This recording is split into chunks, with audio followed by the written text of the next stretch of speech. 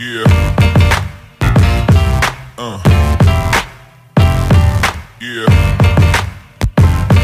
Uh. Qué gusto saludarles de nueva cuenta, agradecerles por supuesto porque se han suscrito al canal de YouTube de Paco Montes, le han dado like y follow a la fanpage de Facebook de Francisco Montes TV y estamos haciendo más grande la comunidad de saludo desde la Esmeralda, las instalaciones del Club León, que por cierto este día hizo oficial la presentación de una nueva alianza comercial con una muy reconocida marca japonesa de autos, Mazda.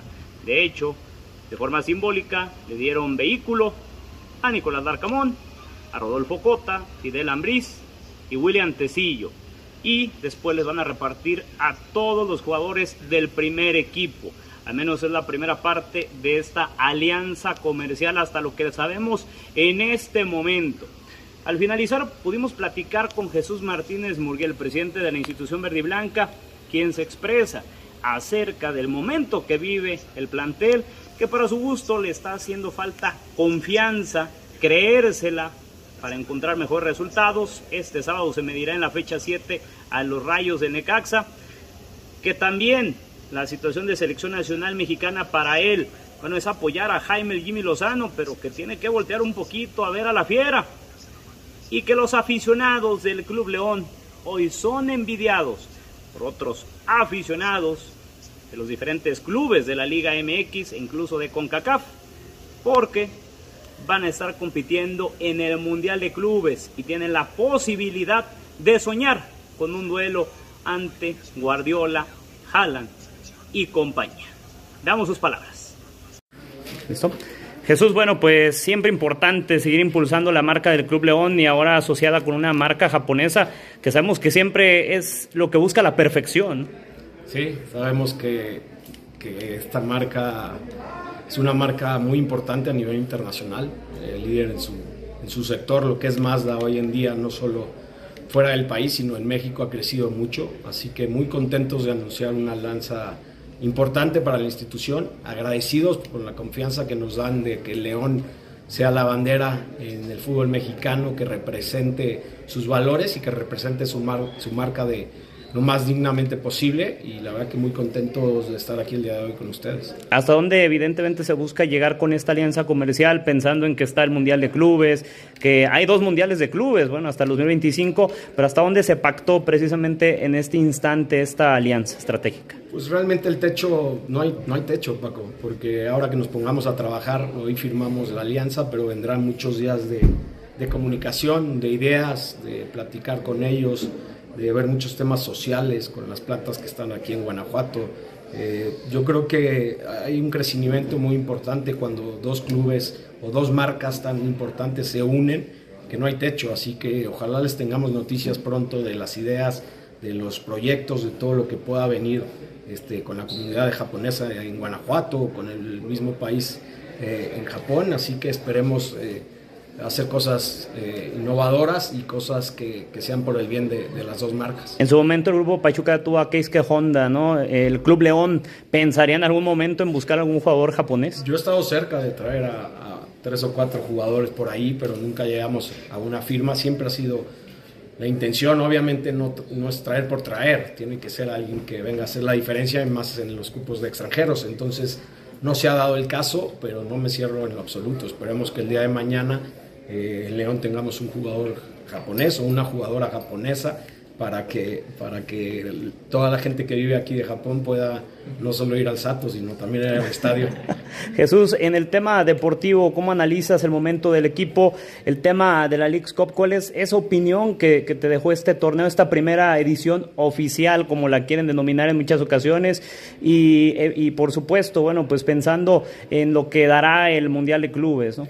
Sí, yo creo que, eh, hablo por, por León, yo creo que en el en nuestro caso nos quedamos cortos. Eh, tuvimos un, una buena primera fase eh, de grupos y por ahí nos confiamos en unos minutos y nos echaron para afuera. Así que poner excusas de decir de los viajes que esto, que lo otro, eh, se me hace de más. Hay que aceptar que no, no, no cumplimos las expectativas que teníamos. ni modo, fue un fracaso. Hay que darle vuelta a la página, como dices Paco, y pensar en la liga, que es mañana con Necaxa, que es un partido muy importante porque a lo mejor no hemos tenido los puntos que quisiéramos haber tenido al inicio de temporada. Así que a partir de mañana pensar en, Necaxa y, yo ya estaré eh, planeando toda la logística para el Mundial de Clubes, pero ahorita tengo enfocado a mi técnico, a mis jugadores al 100% en lo que es la liga, porque llevamos tres torneos sin tener eh, sin calificar a la liguilla, lo cual me inquieta bastante y ya pensaremos en el Mundial de Clubes después. Jesús, ¿tú qué le cambiarías a la League's Cup si estuviera en tus manos modificar todo este tema? Porque obviamente se habló mucho del tema de logística, de la forma en que se competía. ¿Qué, le cambiaría a Jesús Martín? Mira, yo tuvimos una junta de bastantes horas con, los con el director de, de League's Cup, que es Víctor Guevara, con Fran Iturbide, eh, hablando de todo esto que platicas, Paco, de los pros, los contras que se vivió, pues obviamente siendo el primer torneo hay mucho que mejorar, sin embargo yo la, la idea no la veo mala.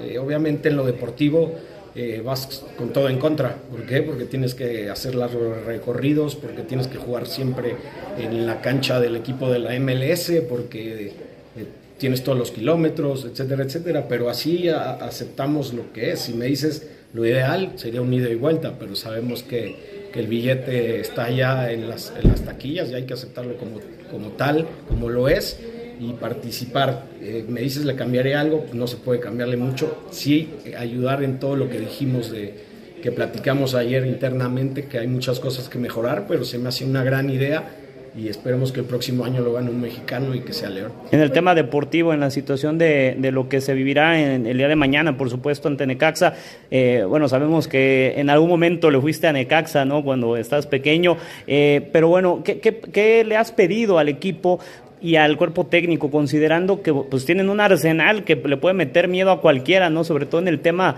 eh, ofensivo que la gente está esperando verlo explotar, ¿no? Sí, yo creo que estamos un poco poca desconfianza, porque como dices, tenemos un equipo que eh, yo creo que es de los mejores equipos que hemos tenido eh, en muchos años, por como dices, en, el tema no solo de ataque, sino de defensa, portería, medios, y tenemos un gran cuerpo técnico, así que yo no les pido nada, porque yo los veo entrenar día con día y están, están entregados 100% a su profesión, a lo mejor nomás necesitamos ese, ese cambio, ojalá que sea el día de mañana para agarrar confianza y, sumar ya tres puntos, porque yo creo que hicimos un gran partido en América, por detallitos no le ganamos allá, que es un gran equipo ante un gran, en una gran cancha, hay mucho que mejorar, pero yo espero ya dar pronto esa vuelta y confío a muerte en mi equipo y en mi, y en mi técnico. Por último, de mi parte, ya nada más el tema de selección nacional. Bueno, por ahí pues quizás quedó corta, ¿no? La selección mexicana eh, debieron haber mandado alguna invitación para acá al Club León, ¿no, ¿no se te hace, Jesús? Sí, yo pienso que sí. Al final yo no hago las designaciones, pero yo creo que hoy va un jugador como Iván Moreno por la lateral derecha con unas estadísticas realmente importantes, siendo número uno de la liga y con, no solo con las estadísticas, sino cuando lo ves jugar disfrutas del juego, así que espero que el día de mañana, no solo él, el caso de Fidel, el caso de Rodolfo, tenemos buenos jugadores aquí mexicanos, así que eh, confío en, el, en Jimmy Lozano, confío en la gente que está, pero no estaría de más que voltearan un poco por acá. Ahí las palabras del presidente de la Fiera, Jesús Martínez Murguía que vaya que ha obtenido muchos éxitos al frente de la institución verde y blanca.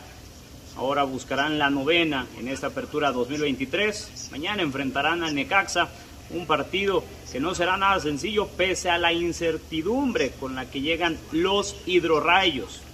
Y bueno, hay que destacar que evidentemente el Mundial de Clubes de diciembre y el del 2025 son de alguna manera ponerle esa frutilla, esa cereza al pastel de éxito desde que el grupo Pachuca ha estado al frente del Club León. Así que bueno, pues muchas gracias por suscribirse al canal de YouTube de Paco Montes y hay que seguirle dando like y follow a la fanpage de Facebook de Francisco Montes TV y nos vemos a la próxima.